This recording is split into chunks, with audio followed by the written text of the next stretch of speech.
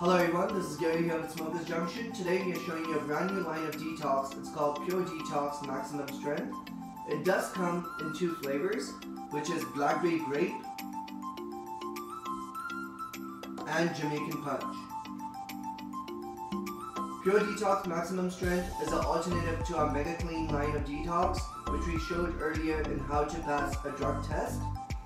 Just to let you know that if somebody who does not have time and they'd like to pass a drug test within the same day, that's the time when you'd be using this bottle. What we'd be doing is we would be pre-cleansing the day before by drinking shit tons of water. So try to have two days in hand if possible.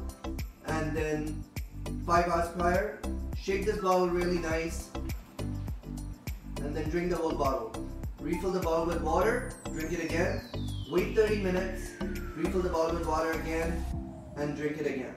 And then pee around 4 to 5 long pisses before you go for the test. That's pretty much it. So that's how you'll be able to pass the drug test within the same day.